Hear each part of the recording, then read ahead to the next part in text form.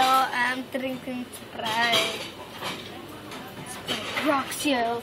Go Sprite, go Sprite. Durr. So what'd you have to eat Here, we're at lunch. here? I had a pork bao. I had some beef noodles I didn't really eat. I just spit it out. I had um, chicken and broccoli. And we're bringing home something special for Martin, Sophia, partly Darla, and Daddy. And we have a guest at home too. Hmm? We have a guest at home, Oh, Maddie Dawson. yay! All right, so let's go across the street. You cancel. Well, you know, I'm always threatening. So let's go across the street, get some pastries. Right, say bye.